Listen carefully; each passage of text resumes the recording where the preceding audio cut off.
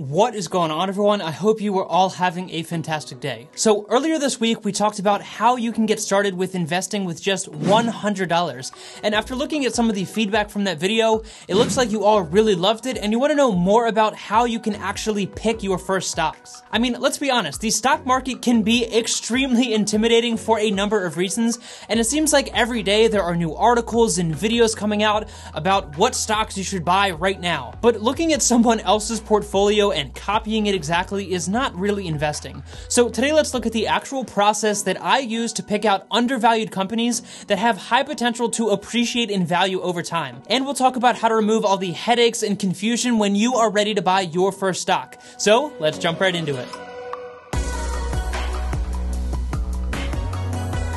So, like I said, the stock market can be extremely confusing and intimidating, and I first want you to know that that is completely normal and it is okay to feel that way. The fundamentals of investing for long term and diversifying yourself seem simple on paper, but when it comes to actually putting your money on the line and investing in a company, it is a whole different process instead of emotions. So, my first tip to you when it comes to picking your own stocks is don't. Okay, look, I know you clicked on this video because you want advice on how to pick your own stocks, and and I promise that is coming. But before you go risking your money on volatile individual companies, I do just want to remind you that you don't have to purchase individual stocks in order to have your money go up in value in the long term. I've said it before and I will say it again, index funds and mutual funds are going to be the best option statistically in the long term, and that's not my opinion or the opinion of someone else on the internet, that is just the statistical fact. Most people don't want to look at balance sheets of a company and the PE ratios and the dividend yields, and that is completely okay,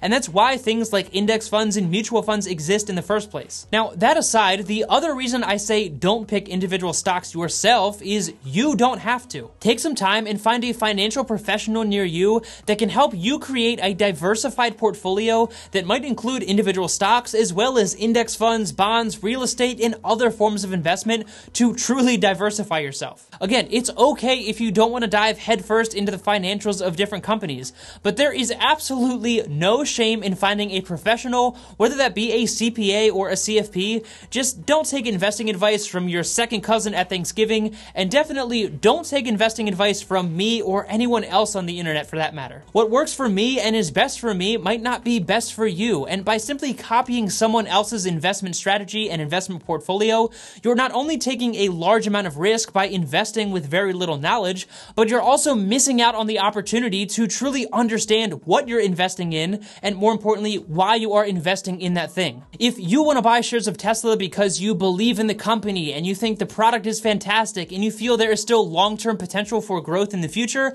then that is fantastic and you should probably do that. But I don't want you to blindly go buy shares of Tesla just because I told you to or someone else on the internet told you to, because that is a great way to lose a lot of money really quickly. That's why it's so important to get a professional in your corner in the first place who can help you make those difficult decisions. And I think you might be surprised it's probably not as expensive as you might think. Okay, moving on from that, how do you actually go about picking individual stocks? Because after all, that is why you clicked on this video. Well, there's a number of different methods, but my personal favorite and probably the most common is what's called value investing. Now, I could go on for days about value investing and how to pick undervalued stocks and companies, but if you do want a really detailed breakdown on value investing, then I would recommend that you just check out the book, The Intelligent Investor by Benjamin Graham. This is the book that Warren Buffett, yeah, the multi-billionaire talks about all the time, and he says that it is the best book on value investing ever written, and I'd say I have to agree with him. Although Warren Buffett probably knows better than I do. But basically, this idea focuses on buying companies or stocks of a company in this case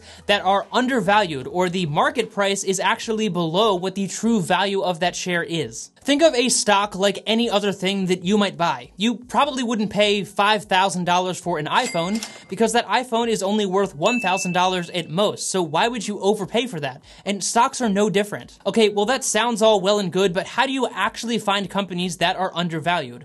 Well, again, there are a million different ways that you can go about this and a lot of different strategies all over the internet, and I'm going to talk about the technique that I use personally, but as always, do your own research because what works for me might not work for you. So the first thing you need to do is ask yourself what are your goals as an investor? Maybe you are trying to produce a consistent form of monthly income, or maybe you are looking to have long term growth and aren't really concerned about getting a consistent monthly paycheck. And the stocks that you pick are going to be very different depending on those goals and how you answer those questions. For example, if you're looking to create a consistent monthly form of income, then you're going to want to focus on high dividend paying stocks that will give you a consistent dividend check every single month, which is viewed as a percentage of the amount of money you have invested. However, if you're not really worried about a consistent form of monthly income, then you'll want to focus on growth stocks, which are going to be companies that are either large and established and have potential for consistent long term growth, or smaller to medium sized companies that have the potential for rapid and really fast paced growth in a shorter period of time. Obviously, that is going to come with a higher level of risk and more volatility, but these are the questions that you need to be asking yourself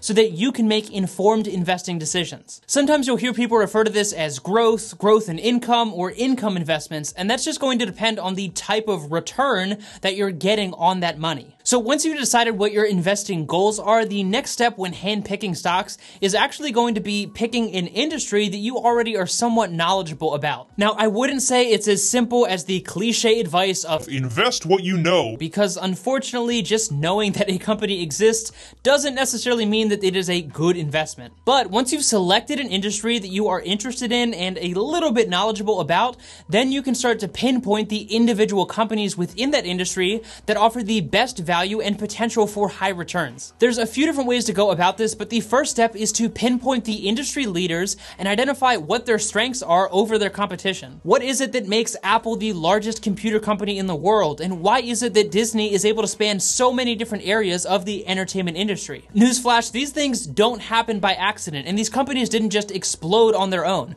So figure out what the core competencies are that allowed them to excel far beyond their competition. Once you've done that combo of things, a really easy metric that allows you to see the value of a particular stock is using what's called the debt to equity ratio. This number represents the total liabilities or debt of a company divided by the total shareholders' equity. Wow, big words, I know, but basically, this can give you a gauge of how risky that particular stock is. If you have a lower tolerance for risk, then you'll probably want this ratio to be below 0.3, but you also can compare this to other companies in this industry and the industry average to see how that company is stacking up against the competition. The next metric that I use that again is really easy and you can find it by just doing a Google search for any publicly traded company is what's called the PE ratio or the price to earnings ratio. A company's PE ratio is extremely important, especially when we're talking about value investing, because this number alone is literally going to show you whether a stock is overvalued or undervalued. Unfortunately, simply looking at the price of a stock is not going to give you a clear picture of how good of a deal you are getting.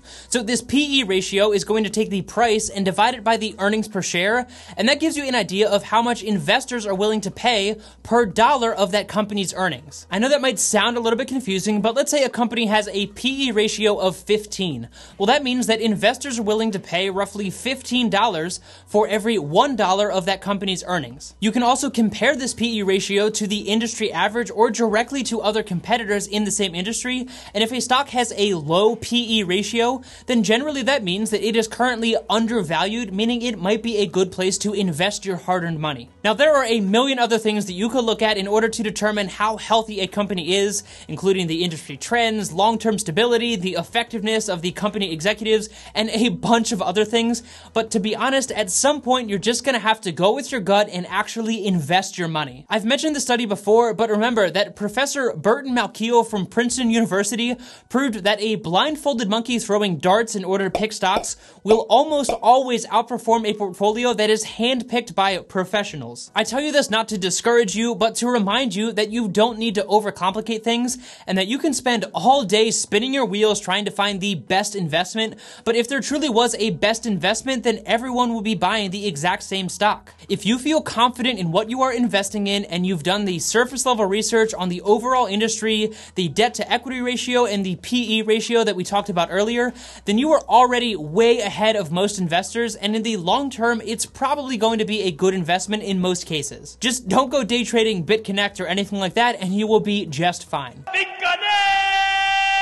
no! So let me know what techniques you have used to handpick your own stock portfolio down in the comment section below. And remember, you don't need to overcomplicate things in order to see long-term growth in the stock market. Keep it simple, stay consistent, and most importantly, actually invest your money because sitting on the sidelines trying to time the market is statistically not going to be a good strategy either. If you did enjoy today's video, make sure you hit the like button, subscribe to the channel, and share this with someone who you think could get value out of this video as well. And as always, thank you so much for your time. Take it easy, and I'll see you in the next one.